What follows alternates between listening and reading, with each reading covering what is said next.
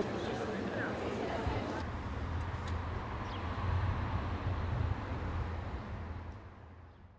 like to ask Jane Ann Duffy next from the Irish Embassy in Bern because she has to rush away.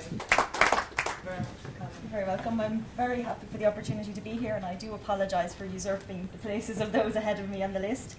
Um, I just wanted to deliver a message which I received from President McAleese in support of Fighting for Peace initiative. Um, I am delighted to send greetings and good wishes to all involved in the Fighting for Peace initiative being launched today in Geneva.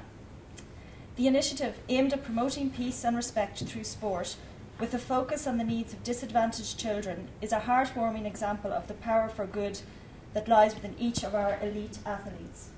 I congratulate all who have lent their support to Fighting for Peace, in particular Stefan Cabrera, Billy Murray, Carl Emery, and Tusa Anderelli.